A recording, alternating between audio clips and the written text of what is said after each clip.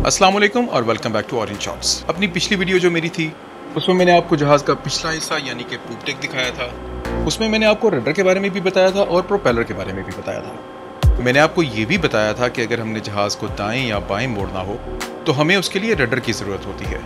और साथ ही साथ मैंने आपको ये भी बताया था कि पूप डेक जो इस वक्त मेरे बिल्कुल ऊपर है, उसके बिल्कुल नीचे स्टेयरिंग गेयर रूम होता है।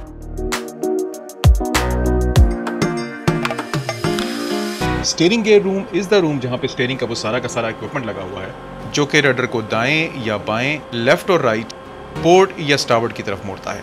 तो आज मैं आपको अपना स्टेयरिंग गेयर रूम दिखाऊँगा। सो लेट स्टार्ट जहाज़ के अगर हम स्टेयरिंग गेयर की बात करें तो it is quite big much bigger than our cars जहाज़ का स्टेयरिंग व्हील अब उतना बड़ा नहीं होता, जैसे आप पुराने जमाने में देखते थे बड़े बड़े व्हील्स जिनको बंदे घुमा रहे होते थे लेफ़्ट और right it is not like that any more अब जहाज़ के स्टेयरिंग व्हील तो बहुत छोटे होते हैं, लेकिन steering gear is still big क्योंकि जहाज़ का रडर बहुत बड़ा होता है। एंड प्लस जहाज़ का प्रोपेलर जो उसके ऊपर पानी फेंक रहा होता है the amount is a lot it's too much because a vessel engine is a huge engine और ह्यूज इंजन जब एक ह्यूज प्रोपेलर को घुमाएगा तो obviously there will be a lot of volume of water जो कि रडर के ऊपर आकर लग रहा होगा। उस केस में उस रडर को घुमाने के लिए आपको बड़ा स्टेयरिंग गेयर ही चाहिए। अगर आपका स्टेयरिंग गेयर बड़ा नहीं होगा, आप अपने जहाज़ को स्टेयर नहीं कर पाएँगे। You won't be able to do that steering का प्रिंसिपल बिल्कुल सिंपल सा है। आपका प्रोपेलर वो चीज़ है जिसने पानी पीछे से सक करना है और सक करने के बाद उसने रडर पर फेंकना है। जब वो पानी रडर के ऊपर पड़ेगा दीज मोटर्स जो कि मेरे स्टाबर्ड और पोर्ट और लेफ़्ट और राइट पर लगी हुई है these motors will move the rudder to the port and starboard और जब जहाज़ का rudder port and starboard move करेगा तो जहाज़ पोर्ट एंड स्टार्बर्ड मूव करेगा। आपकी गाड़ी के स्टेयरिंग में और जहाज़ के स्टेयरिंग में बहुत फ़र्क होता है। स्टेयरिंग व्हील दोनों का तकरीबन एक ही साइज़ का होता है। There is not much of a difference in that लेकिन जो स्टेयरिंग गियर का इक्विपमेंट है that is much much smaller in your cars as compared to your steering wheel but it is much much larger on ships compared to their steering wheel process बिल्कुल simple होता है जनाब, के bridge से duty अफसर ने starboard या port पे अपने व्हील को मूव किया। वहाँ से सिग्नल आता है through the telemotors into this box ये बॉक्स आगे से उस सिग्नल को रिले करता है हमारी स्टेयरिंग मोटर्स को, जो कि यहाँ पे दो अदद लगी हुई हैं। वी हैव टू ताकि इन केस अगर एक फेल हो जाए तो दूसरी काम करती रहे। And then these steering motors they move the ram ये रैम को जब मूव करती हैं, आगे या पीछे की जानब तो वो रैम फिर आपके रडर को मूव करेगा। And that is how your rudder is going to port and starboard apart from that there is one more difference आप जब अपनी गाड़ी के स्टेयरिंग व्हील को मूव करते हैं लेफ़्ट या राइट की जानब तो वो आपके टायर्स को मूव करता है और आपकी गाड़ी पूरी की पूरी बॉडीली मूव करती है स्टाबर्ड की तरफ़ sorry but I mean to say right की तरफ़ या लेफ़्ट की तरफ़. In case of ship it's not the same आपका रडर और प्रोपेलर दोनों के दोनों जहाज़ के पिछले हिस्से की जानब लगे हुए हैं. So when you move the rudder propeller जब उसके ऊपर पानी फेंक रहा है और साथ में रडर मूव कर रहा है तो उसके बाद क्या होगा कि जहाज़ का पिछला हिस्सा half of the ship moves to the left और राइट जिसकी वजह से जहाज़ की हेडिंग चेंज होती है। So there is a difference of ergonomics अगर हम आपकी नॉर्मल ऑटोमोबाइल्स की बात करें और बहरी जहाज़ों की बात करें। At on top of it just think कि ship is around 274 metres long तो जहाज़ जब मूव करेगा स्टावर्ड की तरफ़ या पोर्ट की तरफ़ तो आपको ये इल्यूजन नहीं होनी चाहिए कि मेरा पूरा जहाज़ आगे से गाड़ी की तरह मूव कर रहा है। इट वॉन्ट आपके जहाज़ का स्टर्न वो चीज़ है जिसके बारे में आपको सबसे ज़्यादा ख्याल रखना है। Initially when you are giving the movement and when your turning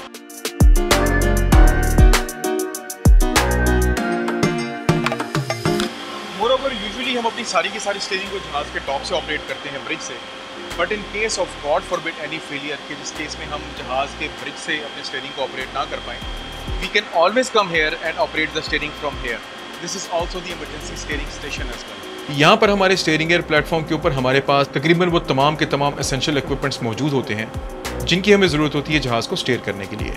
In case of any emergency when you are unable to steer from the top one person has to be station here at the emergency steering room यहाँ पर हमारे पास अपना satellite phone भी मौजूद है plus हमारे पास sound powered phone भी मौजूद जो पुरानी फ़िल्मों में आप देखते थे घुमा कर जिससे ब्रिज से बात की जाती थी तो वो भी हमारे पास अभी तक है। इमरजेंसी में जब सब फेल हो जाए तो ये बड़ा काम आता है।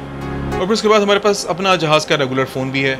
हम इस फ़ोन से ब्रिज के ऊपर रबता करते हैं और उनसे पूछते हैं कि आपको जनाब कौन सी हेडिंग चाहिए? बिकॉज़ रिमेंबर जिस बंदे ने जहाज़ चलाना है, जिस बंदे ने जहाज़ को नेविगेट करना है he is on the bridge so he has to give order from the top और उस ऑर्डर को यहाँ एग्जीक्यूट किया जाता है स्टेयरिंग गेयर प्लेटफॉर्म के ऊपर। Apart from the communication equipment हमारे पास यहाँ पे फ़िज़िकल रडर एंगल इंडिकेटर भी मौजूद है, जो कि हमें ये बताता है कि हमारा रडर इस वक्त फिजिकली कितने डिग्री पोर्ट या कितने डिग्री स्टार्बर्ड पे है? Because remember we can not see the rudder हमारे पास सिर्फ़ और सिर्फ़ उसकी इंडिकेशन आती है रडर तो पानी के अंदर है।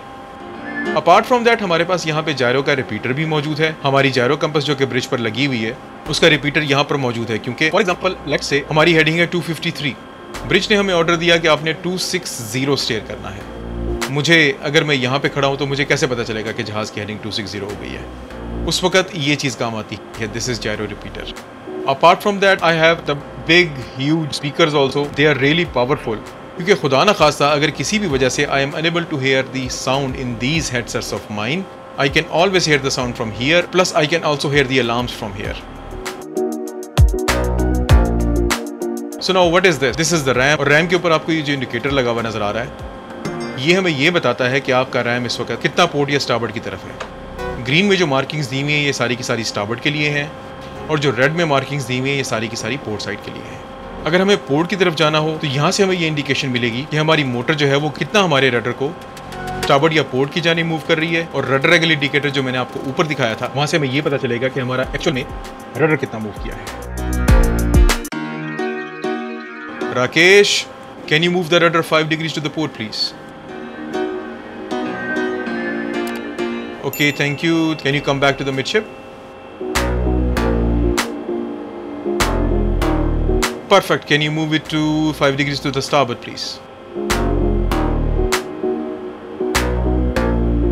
So you see that is how we receive the orders from the bridge. In fact, अभी इस केस में तो मैंने ऑर्डर दिया था ब्रिज को but usually it is them who are giving the orders to the steering platform. And just to show you the movement of our rudder angle indicator, let's give a few few moments. Uh, Rakesh, go 5 degrees to the starboard.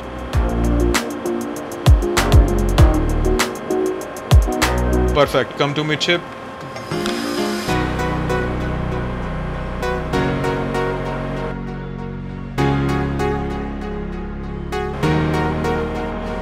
So you see how all of those orders are given and this is how they are executed. Rakesh, Rakesh, thank you very much for being with me on the phone. Thank you.